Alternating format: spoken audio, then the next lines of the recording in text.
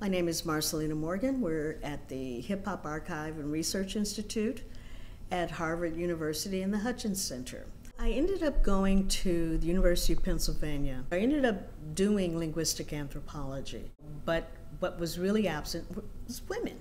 And the topic of my dissertation was on African American women's language. And so I wanted to represent that in some ways, and um, there was a big pushback uh, when it came to me doing that kind of work. I became very, very frustrated and couldn't figure out what to do.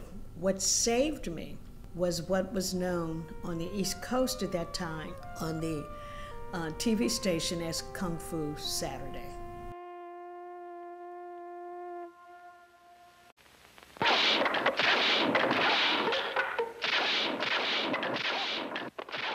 So if you look at that in terms of language and power, the master who really was the one who taught and had students, they actually practiced kung fu with styles, some of which were really respectful, really deeply complex, very interesting, and valuing kung fu itself. Those movies were full of women who could fight, and they would often fulfill a stereotype and come in and kick butt all over the place.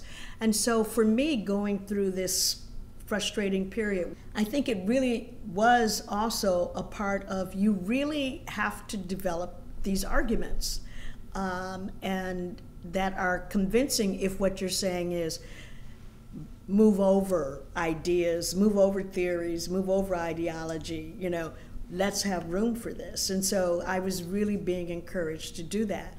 And what kept me sane was Kung Fu Saturday.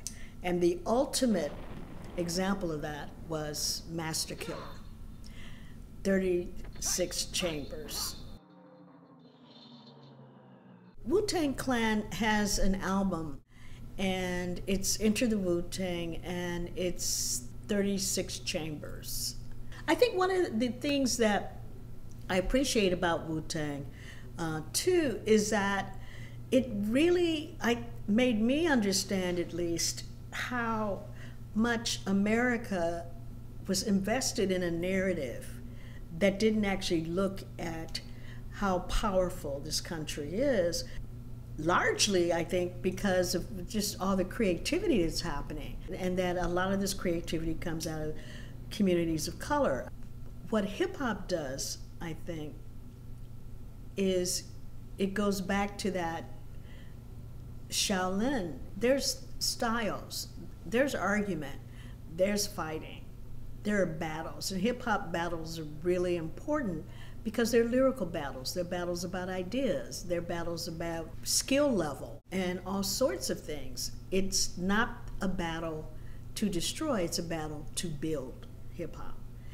You can't go into battle and expect to win if you haven't gone through the basics of something. If you think about that in terms of education, you think about that in terms of someone who wants to be the top MC, the top producer, DJ, the best dancer, the best artist, etc.